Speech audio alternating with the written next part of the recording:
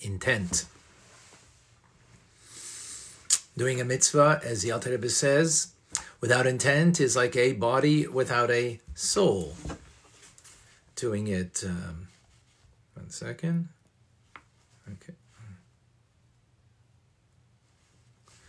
Doing it with intent is a soul. And as we explain, that it is, what does that mean? Of course, it's a more of illuminated mitzvah, but it's not become internet connection. Are you having a problem? Is there a problem?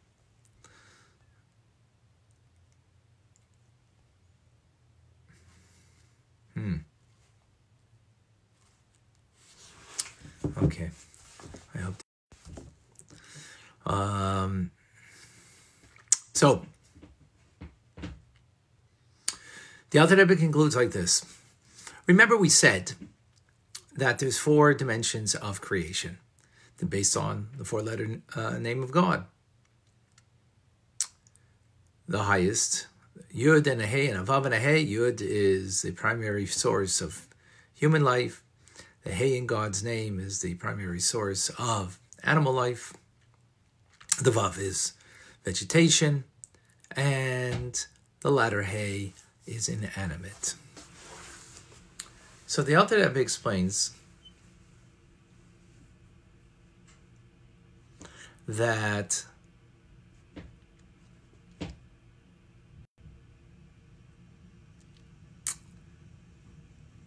when it comes to intent and the act of the mitzvah, it also is exemplified in this name of God, the four levels of creation.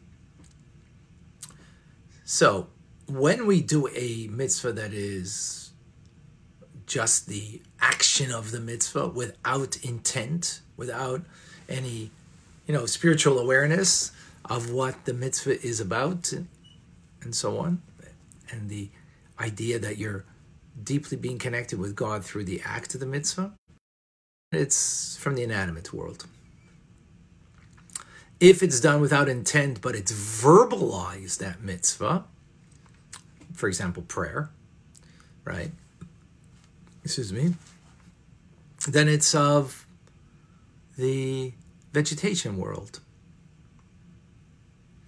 Because there's still some growth there. The very fact that you verbalize something, right? And it's not just an action,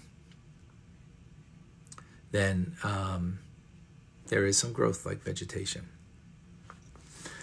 Now, the next two levels are the levels of intent between an animal and a human being. So, an animal does things out of, um, of instinctually, and a human being uses its intellect. So, Alter explains. When an individual will meditate very deeply upon. Okay. Hold on to it, folks. I'm going to change positioning.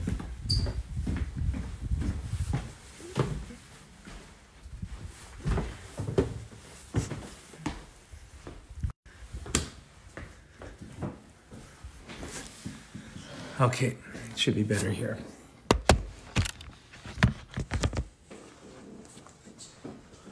Okay, sorry.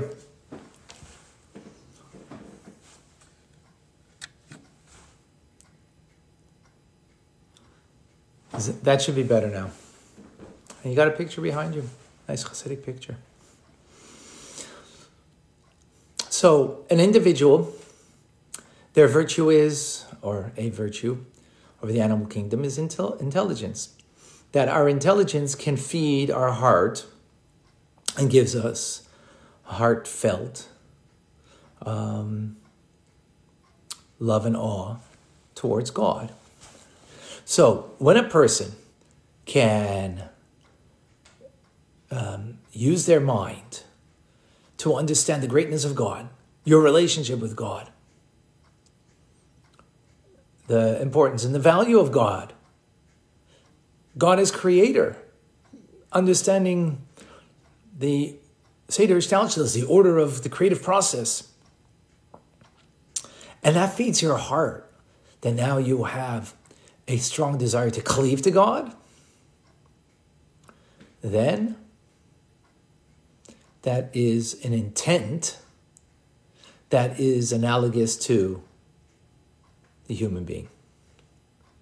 The intent is analogous to an animal. Is an animal is uh, instinctual.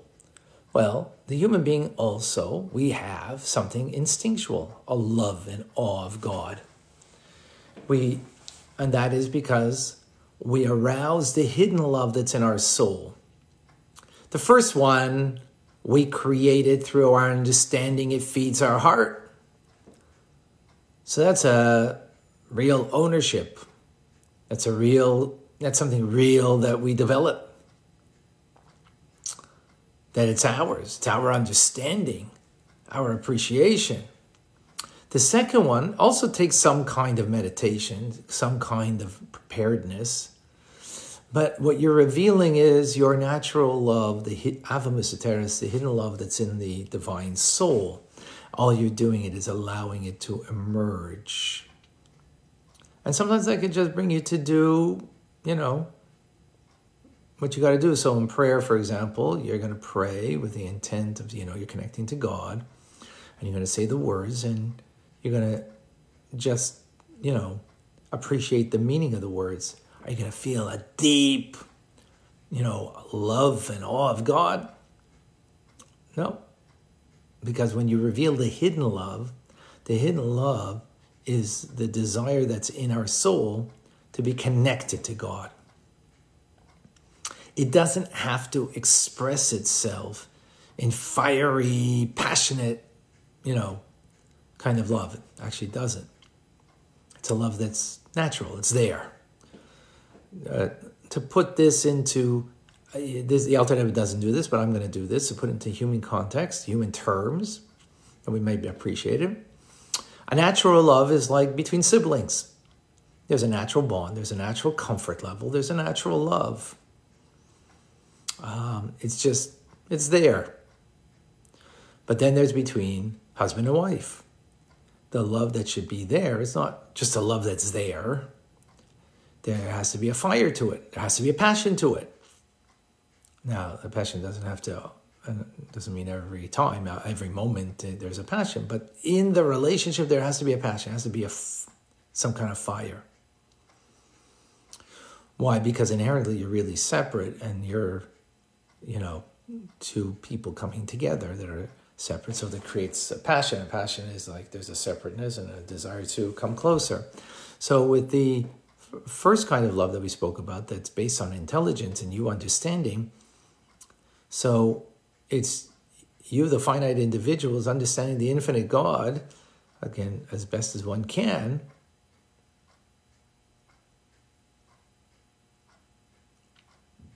Um, and um, I'm just making sure that everything's okay now. Yeah, it looks like. Okay, looks better now. So, um, because there's such a, a spasm, such a, a wide gap, finite and infinite, so it creates this passion, a desire to cleave. And the more you understand the greatness of God, the more you have that love and awe of God that you want to cleave to God. Right. Again, that's an that's a kavana intent. That is something that you kind of own because of your in depth appreciation and understanding of whatever matter it is that you are understanding of godliness. But then there is understanding, appreciating, and there's got to be some kind of meditation, some kind of uh, thinking process over here about the mitzvah, about God, about you know what you're engaged in, what mitzvah you're engaged in. But it's not. Um, it, it's only producing something that's there already an inherent love. So, an inherent love doesn't create a, a fiery passion, just like between siblings. You know, it's a natural love that's there. just needs to be revealed. Our natural love that we have with God. Those are the two levels of intent. And with that, we conclude. Uh, chapter 38. So, what's our take home for the times that we're living in? Good question.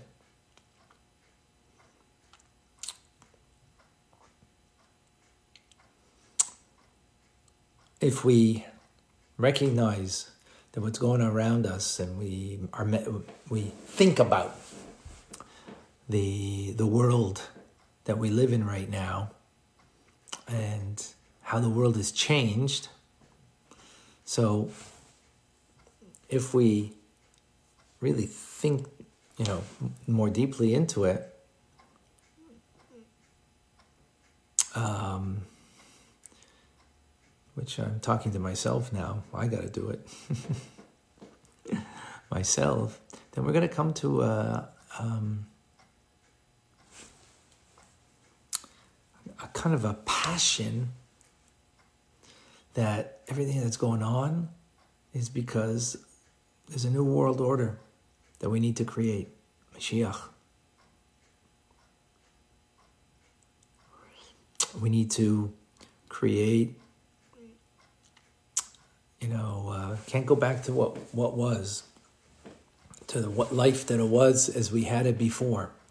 That's how God did all of this. But that only takes if we, that only will arrive when we kind of think about this and, and, and it develops a passion for um, connecting to Hashem in, in being part of creating a, a new world order, Mashiach one, living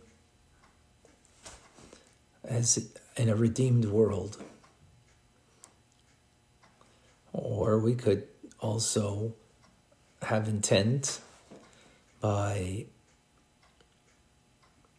just, you know, bringing out the natural hidden love that we have in our soul, which also ultimately also wants a world order, but it won't be with the same kind of passion. You know, when you have such great passion in something, so it just shows on your investment and how much you own what you're doing. So that's one point. Another point, um, and I think this is very important, you know, because of the restrictions, social uh, distancing, and that, you know, I, I have my son and daughter in law, and can I know her four children that live four doors down. But we have they don't come into the house. We see them outside. The kids come and visit. We're at the window. We wave. They wave back. And, um, you know, we talk or whatever, but at a distance. They're not coming to our Seder, uh, to our Seder as much as we'd love to have them. And others, all the other kids that we have here with their children, are not coming to our Seder. So and that's my situation, others are actually going to be literally alone. Some of you might be literally alone to make your Seder.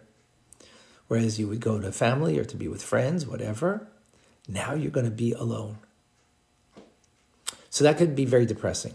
Or if you have kavana, intent, think about it, connect in a deeper way and recognize, wow, God's giving me a gift. You know what the gift is? I have to own my Seder. I always went to my uh, parents. I always went to, you know, uh, my aunt and uncle, you know, who had the whole family together. And I was just a participant and uh, not so, uh, not such an engaged participant necessarily. Now, I'm going to have to do it myself. I'm going to have to own it. I'm going to have to make it meaningful. So meditate upon that and recognize that this is a gift from God that He's giving us that we can own our Seder for the first time, perhaps in our lives. That's amazing. So uh, don't look at it in a, you know, don't look at it like an inanimate object and be dead, right? And just go through the actions of doing the Pesach Seder. Do it with a fervor. How are you going to do it with a fervor? Well, when you contemplate and think about it, that this is God's doing, He's giving me an opportunity that I should run my own Seder. because I'm doing it myself, or I'm doing it just with my spouse, or I'm just doing it with, you know, uh, my small family unit, as opposed to usually the extended family gets together, 20 people or more, they get together, you know, and I just kind of melt in the background. Well, no melting in the background. I mean, yes, you could just go through the actions, or you could really do it with great kavana. How? Recognize what an opportunity we have, and let's make the most of it. I hope that's clear.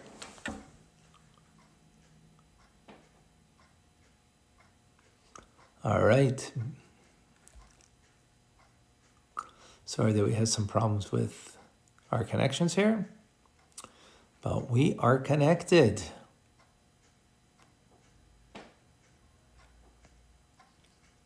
And Mordechai, thank you for joining. Uh, Jo from Portugal, thank you. Andrea from Andrew rather from Springfield, New Jersey. Good morning.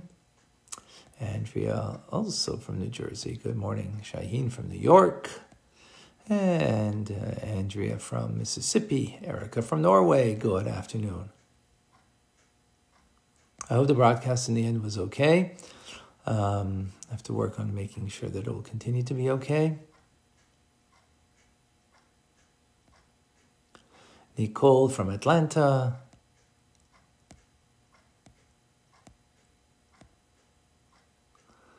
Menachem from Montreal.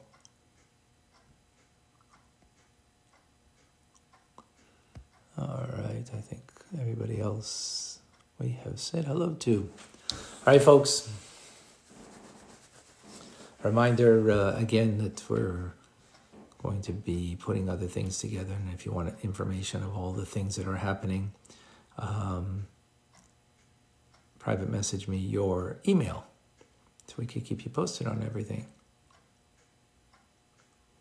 Um, you know, other other learning opportunities, especially that we're doing online so many things now.